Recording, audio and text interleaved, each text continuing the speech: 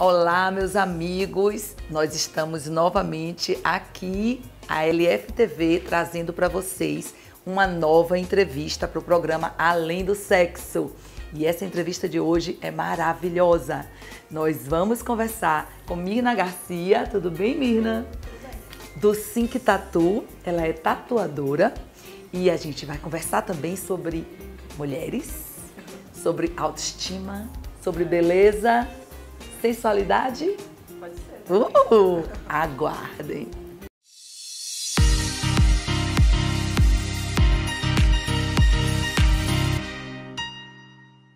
Então, Mirna, como foi que você se descobriu tatuadora? Eu fazia arquitetura Sim. e estava bem frustrada com o curso, assim. Eu já estava terminando o curso, mas não era aquilo que eu queria. E aí eu decidi voltar a desenhar, que eu já desenhava antes de entrar na faculdade. E acho que uma coisa levou a outra. Quando eu vi, eu já estava com a máquina de tatuagem na mão. Foi mesmo? Foi desse jeito. Aqui em Salvador. Não, na época eu morava em Aracaju Sim. e aí eu comecei a tatuar lá. Isso já tem sete anos. Sete anos. Bacana. E essa história de fazer tatuagem em mulheres, como é que surgiu? Então, na verdade, eu acho que não foi uma coisa pensada. Eu acho que acabou que o estilo do meu trabalho e o que eu gosto de fazer, o público acabou sendo mais feminino. Não é uma coisa que eu imponho e digo, não, eu só tatuo mulher. Sim. Acaba que. Foi naturalmente foi que foi natural. acontecendo. É, tanto que eu tatuo homem também, mas a, a maior parte do meu público é feminino. Certo. E o que que lhe dá mais prazer quando você. O que, lhe realiza mais quando você faz uma tatuagem? Ah, eu acho que uma das coisas que a, tatuagem mais tem potencial e que é o que me, me dá um êxtase assim, quando que eu vejo que tem esse poder realmente é quando eu passo do físico só. Sabe? Quando você se olha no espelho e que você se encontra quando você está com aquela tatuagem ali. Tipo, sei lá, a minha última que eu fiz no pescoço. Sim. Eu olho no espelho e falo, porra, antes de eu ter essa tatuagem não era eu. Incrível isso, como uma tatuagem pode mudar a forma da gente se ver. Muda muito, não é, Mirna? Você, você acha que a tatuagem ela resgata uma autoestima também feminina? Acho que sim, mas eu acho que é mais a questão da gente se apropriar do que a gente já é e só tem vergonha de mostrar, sabe? Eu acho Sim. que é mais isso. E a gente passa a se sentir mais segura pra ser o que já é. Então, Só mas o resgate é exatamente Sim, sim. vir É. trazer à tona algo É. que estava lá, digamos, perdido Sim, sim, é. em algum lugar do nosso né, inconsciente e de repente a tatuagem ela mostra, né, traz. É, traz isso pra Muito. superfície, né? E, e que situações assim você já fez tatuagem que você disse assim, puxa vida, assim, digamos, pessoas que queriam esconder alguma coisa ou mostrar alguma coisa, como é isso? Me conte. É, para esconder, geralmente acontece muito em caso de cicatriz, que tem gente que quer esconder para se sentir mais segura para ir na praia, para vestir um certo tipo de roupa, que aquela cicatriz criava aquela barreira ali. E tem também a questão daquele projeto meu dos mamilos, né? que Como é? Conte o projeto dos mamilos pra gente. Como a tatuagem também na minha vida, o projeto dos mamilos, ele sur- se surgiu sozinho. E quando eu vi, eu já estava com isso na mão e eu só cuidei dele, né? Tô cuidando Sim. dele. Mas é, duas das primeiras pessoas que eu fiz essa tatuagem são ornamentais em volta do mamilo mesmo, feminino. É, elas voltaram para me dizer como elas passaram a se olhar depois dessa tatuagem ali. E, e aí eu resolvi botar isso pra frente, colocar isso para outras mulheres também. Então, no caso, seria na areola. Porque a areola é a parte, gente, que fica, né? O mamilo fica no centro da areola, da mama, né? Então você tatua a areola. Às vezes o mamilo também. Às vezes o É, mari- depende mamilo. do- E é uma área super fina e sensível. Muito sensível mesmo. Então, deve ser bem delicado, bem difícil. É difícil de fazer, mas assim, no geral as meninas suportam bem. Não, é dos piores lugares não. E aí é um projeto que é mais pelo. Como que eu falo?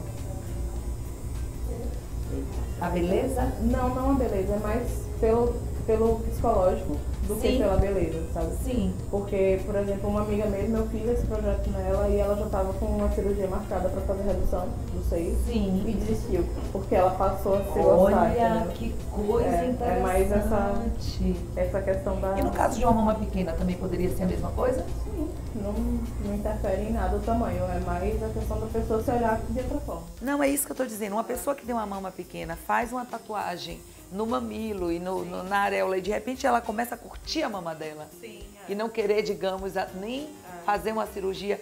Então, a gente está falando aqui de uma coisa muito importante. A gente está falando aqui de algo que, assim, muitas mulheres não estão muito satisfeitas com o corpo delas e uma tatuagem, de repente, vai valorizar aquela parte do corpo que ela não valorizava. Sim, isso é o que acontece na maioria das vezes, né? Não só, tipo, o mamilo é que é uma coisa que realmente mexe muito com, com o feminino de cada pessoa. né? Sim. Mas, sei lá, até uma tatuagem na perna que antes você não andava tanto de short e agora você anda mais. Né? minha tatuagem. Eu vou lhe contar, quando eu fiz essa tatuagem, é, eu gostei tanto, tanto, eu curti tanto minha tatuagem, gente, que eu dormi, né, de noite, fui dormir, e eu tive um sonho que ela estava apagando. Eu acordei de manhã e corri pro espelho. Quando eu olhei, que eu vi que ela estava perfeita, eu, sabe, senti um alívio. Eu disse, ai, minha tatuagem. Porque você começa a. Você se, se apaixona, né? Você gosta da tatuagem, você gosta de curtir aquela imagem. E falando de imagem, tem imagens que você acha que são mais adequadas e menos adequadas para determinados lugares? O que, que você poderia dizer para quem quer fazer uma tatuagem? Na verdade, eu, eu peço que a pessoa, sempre quando vai tatuar, me fale o que é que ela quer passar com aquela tatuagem. E não a imagem em si. Claro que a imagem é importante, mas eu acho que o que ela quer Comunicar? Passar, é, comunicar, passar para o mundo, para ela mesma, com a Ah. tatuagem é mais importante do que a imagem em si. E a imagem acaba que surge no processo, tanto o formato quanto, quanto o lugar também é mais isso.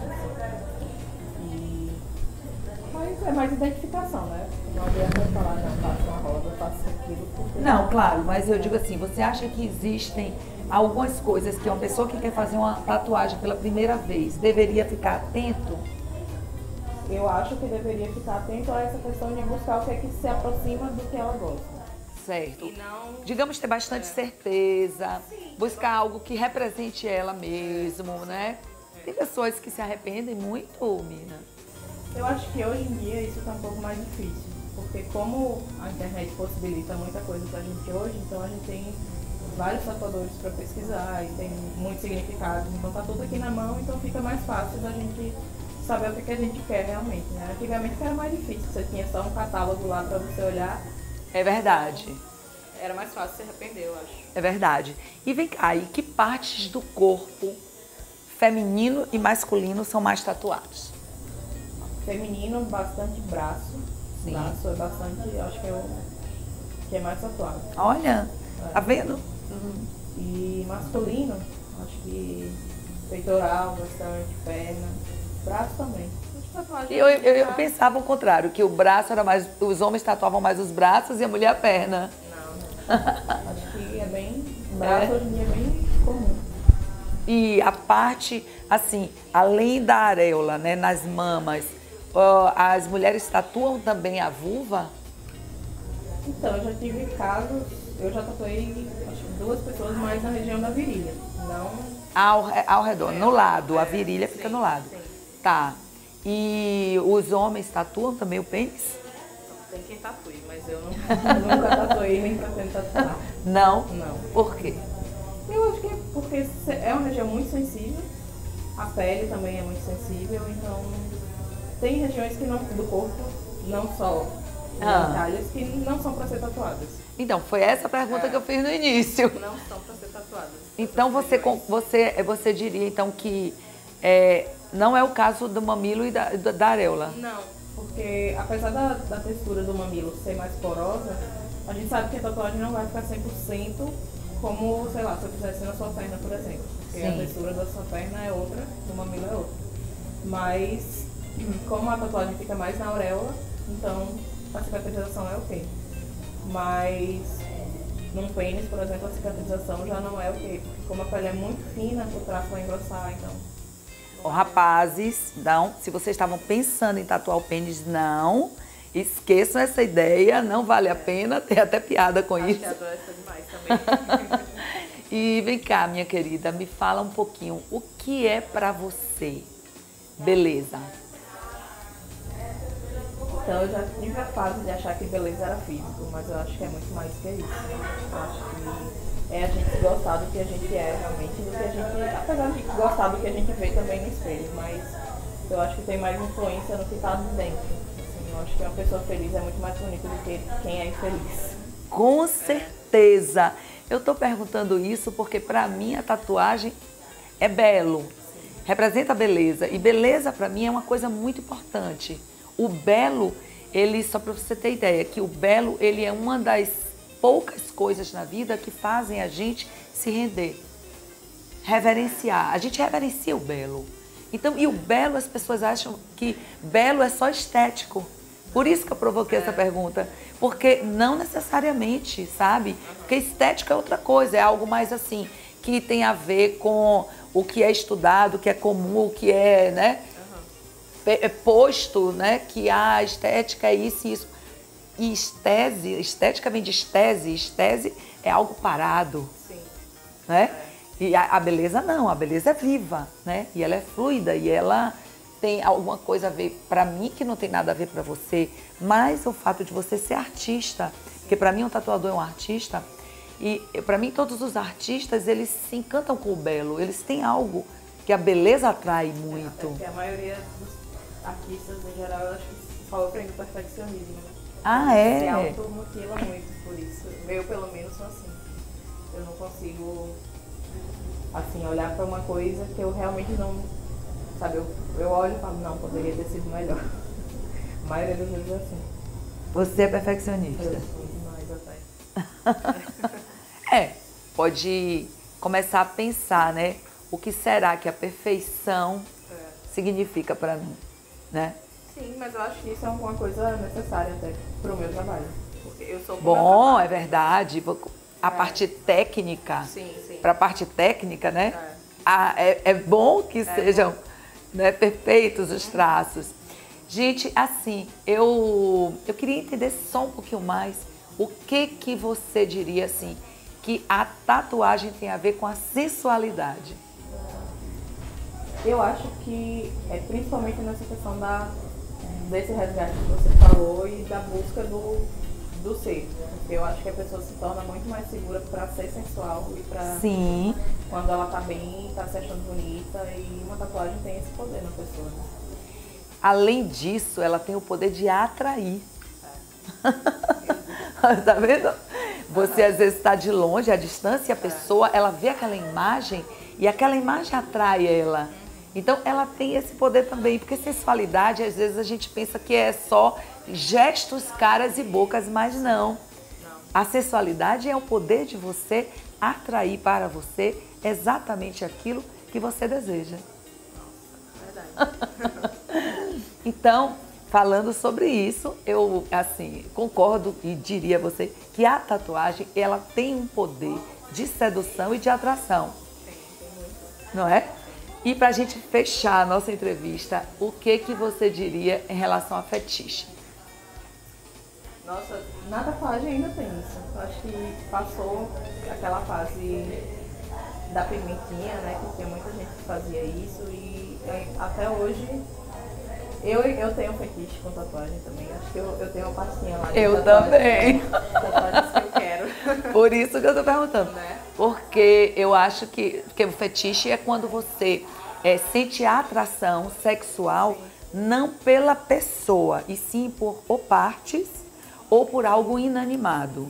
Tá? Então pode ser um sapato, pode ser uma barba, pode ser uma tatuagem.